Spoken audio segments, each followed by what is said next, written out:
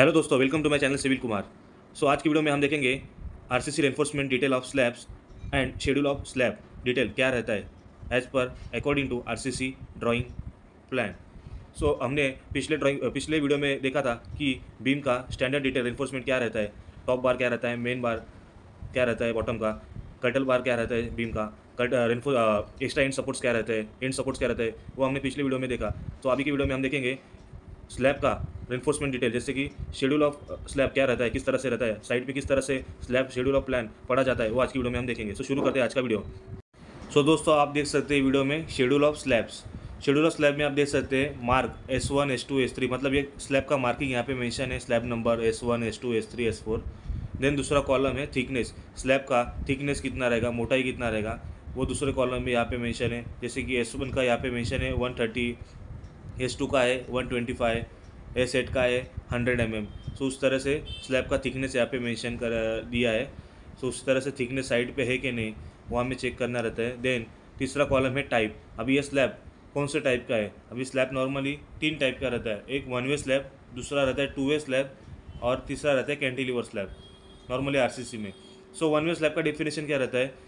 जो भी हमारा स्लैब का स्पैन है एल और एल सो उसका डिफिनेशन क्या रहता है? L Y divide by L X is greater than two मतलब वो L Y by L X का जो रेशो आएगा, वो दो से ज़्यादा रहेगा सो उसे वन वे स्लैब कहते हैं। और L Y by L X divide by L Y divide by L X is less than two मतलब दो से कम रहेगा L Y by L X का रेशियो सो उसे हम टू वे स्लैब कहते हैं।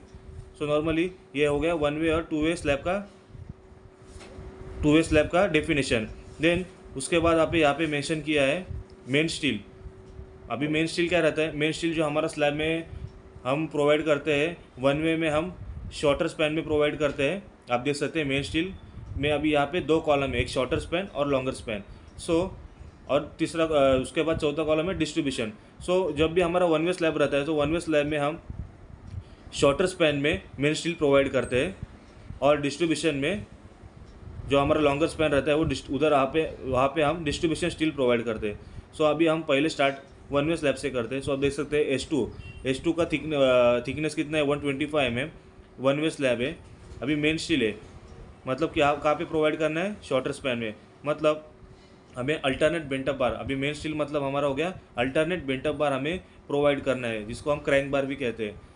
सो उसका डिटेल क्या दिया है यहाँ पे? वो अल्टरनेट बेंटअप बार है। उसका डिटेल है, दस एम का सलिया हमें यूज़ करना है उसमें।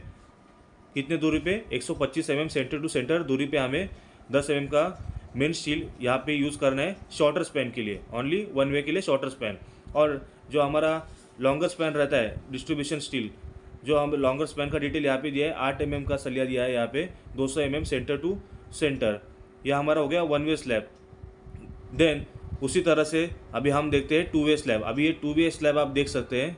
टू वे स्लैब में आप देख सकते हैं मेन स्टील अभी टू वे स्लैब में हमारा, आप देख सकते हैं यहाँ पे टू वे स्लैब में मेन स्टील में शॉर्टर स्पैन लॉन्गर स्पैन यहाँ पे आप देख सकते हैं shorter span longer span so यहाँ पे दोनों तरफ़ स्टील प्रोवाइड है, लेकिन उधर डिस्ट्रीब्यूशन नहीं दिया क्योंकि टू वे स्लैब का मतलब क्या होता है कि यहाँ पे दोनों तरफ़ एल वाई डायरेक्शन और एल एस डायरेक्शन में दोनों तरफ़ हमारा मेन स्टील आएगा। मतलब वहाँ पे दोनों तरफ़ हमारा हमारा alternate bent up steel bar provide होगा।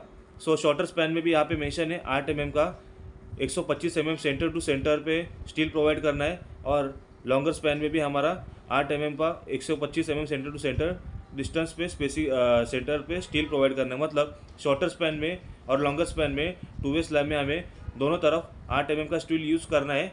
कितने सेंटर पे 125 M mm centre to centre distance पे।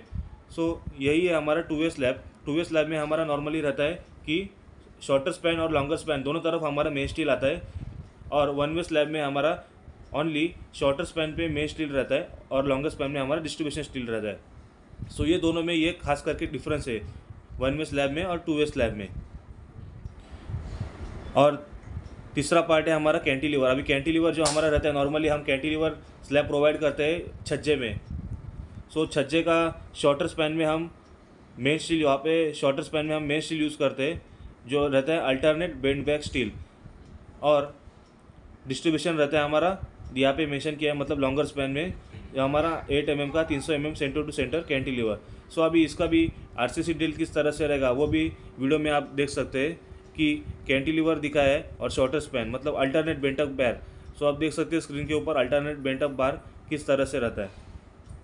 इस तरह से हम alternate bent up bent back cantilever मतलब जो बेंट बैक मतलब क्या होता है? जो बेंट होके बैक आता है बीम में, उसको हम अल्टरनेट बार बेंट बैक उसे कहते हैं, जो कि हमारा कैंटिलीवर स्लैब में यूज़ होता है।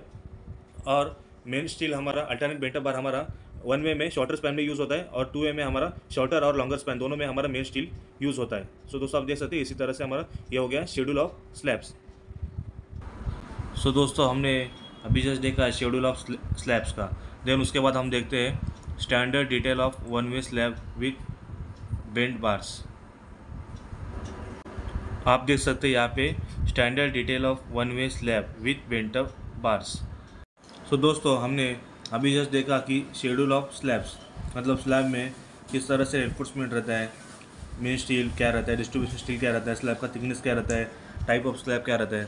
देन आगे, अभी हम आगे बढ़ते हैं, जिस मतलब जैसे कि standard of detail of one way slab with bend bars मतलब वन वे स्लैब में बेंटअप बार किस तरह से प्रोवाइड करते हैं? उसका क्या स्टैंडर्ड रहता है? वो अभी हम देखेंगे। तो दोस्तों, आप देख सकते हैं, ये स्लैब का एक सेक्शन है। यहाँ पे मेंशन किया है वन वे स्लैब का। जिस पे आप देख सकते हैं, ये हॉरिजॉन्टल मेंबर है। इसको हम स्लैब कहते हैं। और ये जो वर्टिकल मेंबर यहाँ पे दिख रहा है, ये ये है बीम ये दूसरा बीम है। ये बीम के ऊपर हमारा स्लैब रेस्ट है। मतलब स्लैब का लोड बीम के ऊपर ट्रांसफ़र हो रहा है बीम का लोड कॉलम के ऊपर ट्रांसफ़र होता है। और कॉलम का लोड फुटिंग के ऊपर ट्रांसफ़र होता है। सो आप देख सकते हैं ये स्लैब सो ये स्लैब का यहाँ पे मेंशन किया है थिकनेस जिसके, जैसे कि हमने पहले कॉलम में देखा है S one S two then उसके बाद है हमारा थिकनेस जो हमारे स्लैब का थिकनेस का पार्ट है, जो हमारा बीम में इंक्लूड रहता है। सपोज़ हमारा टोटल ये बीम का डेप दिया है 600 सौ mm सो ये बीम का डेप हम कहाँ से कंसिडर करते हैं? यहाँ से लेके स्लैब का फ्लोर लेवल तक। सो हमारा ये 600 टोटल हमारा यहाँ से लेके यहाँ तक रहता है। सो 600 में से हम सपोज़ इसका थिकनेस दिया है 125 तो 600 में से 125 गया। माइनस करेंगे 125 थिकनेस है सपोज़ सो 600 में से ओवरऑल 600 में से हम 125 माइनस करेंगे। तो हमारा ये थिकनेस कितना रहेगा? यहाँ से लेके ये ड्रॉप बीम कितना रहेगा? चार सौ एम रहेगा। सो ये हमारा हो गया स्लैब थिकनेस देन हमारा ये बीम सपोर्ट हो गया। ये बीम सपोर्ट हो गया। ये स्लैब का बीम सपोर्ट हो गया। ये दूसरा सपोर्ट हो गया। सो ये बीम सपोर्ट से कॉन्क्रीट का ये सपोर्ट से, ये कॉन्क्रीट का बीम सपोर्ट तक ये हमारा स्पैन हो गया है। सो ये हमारा क्लियर स्पैन हुआ। अब ये क्लियर स्पैन के ऊपर ही हमारा जो स्टैंडर्ड डिटेल रहता है स्लैब का रेनफोर्समेंट का, कि हमारा स्लैब का वन वे स्लैब में हमारा बेंटअप बार कहाँ से हमारा बेंटअप बार उठेगा? वो ये क्लियर स्पैन के ऊपर ही डिपेंड रहता है। सो आप देख सकते हैं ये अभी ये अल्टरनेट बेंटअप बार का यहाँ पे ड्राइंग मेंशन किया गया है। एक इस तरह से, एक सीधा सलिया ऐसा जाके, ऐसा 45 डिग्री में बेंड होके फिर सीधा जाता है और देन दूसरा अल्टरनेट बेंटअप बार एक सीधा जाके 45 डिग्री बेंड में ऐसा हुक दिया है। सो ये सेक्शन में भी आप देख सकते हैं, ये बार ऐसा होके ऐसा जा रहा है। सो हमें ये देखना रहता है कि जो हमारा बेंटअप है जैसे कि आप देख सकते हैं, ये जो हमारा बाहर जा रहा है, ये सीधा सीधा बार है, यहाँ से लेके यहाँ तक। यहाँ से लेके यहाँ तक हमारा ये सीधा बार है। सो ये आप देख सकते हैं। फिर ये बेंटअप बार है, जो हमारा बेंट है बेंट और देख सकते हैं ये बेंट ये कितने डिस्टेंस पे, कितने दूरी पे हमें उठाना है और आगे लेके जाना है। सो ये देख सकते हैं। अब ये क्लियर स्पैन है। ये क्लियर स्पैन हमारा है नॉर्मली ये बीम से, ये बीम का डिस्टेंस है हमारा तीन मीटर। सो ये तीन मीटर से हमारा डिवाइड बाय हम सेवन करेंगे।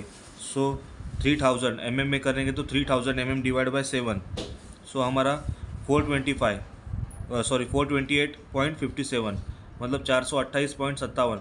ये बीम सपोर्ट से हमारा चार सौ अट्ठाईस पॉइंट सत्तावन पे हमारा ये बेंटअप बार उठेगा.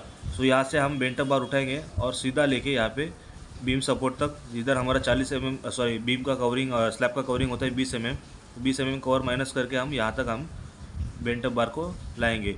सो आप देख सकते हैं, यहाँ पे हमारा स्पैन ख़त्म हो रहा है। ये पहला स्पैन है, ये दूसरा स्पैन है सो आप देख सकते हैं, ये स्पैन में भी दो टाइप रहता है, एक कंटिन्यूस स्लैब और एंड सपोर्ट स्लैब सो ये हमारा हो गया एंड सपोर्ट स्पैन ये एंड सपोर्ट हो गया और ये हमारा हो गया कंटिन्यूस सपोर्ट स्पैन मतलब कंटिन्यूस क्या होता है कि हमारा एक स्पैन के आगे दूसरा स्पैन कंटिन्यू रहता है। सो हम उसे कंटिन्यूस स्लैब बोलते हैं और यहाँ पे हम देख सकते हैं end support span so end support span पे हमारा बेंटअप कहाँ पे उठेगा? बीम का सपोर्ट से एल बाई सेवन मतलब ये क्लियर स्पैन का एल बाई सेवन लेंगे. Three thousand divide by seven करेंगे. सो चार सौ अट्ठाईस पॉइंट फिफ्टी सेवन पर हमारा ये bent up bar forty five degree में बेंटअप बार यहाँ से लेके यहाँ तक हमारा आ जाएगा. उसी तरह से हमारा कंटिन्यूस सपोर्ट अभी जो हमारा कंटिन्यूस स्पैन है, आप देख सकते ये है कंटिन्यूस स्पैन ये भी एक स्पैन है एल वन और दूसरा आ गया ये एल टू यहाँ पे मेंशन किया. सो ये एल वन और एल टू का मतलब क्या रहता है? अभी हमारा ये बीम सपोर्ट से हमारा ये ये कंटिन्यूस स्पैन हो गया।